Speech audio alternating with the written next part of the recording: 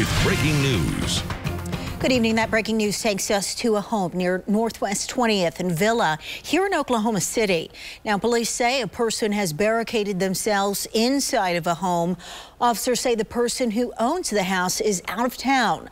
The person inside is ignoring police commands and refusing to come out. We will keep you updated as the situation develops.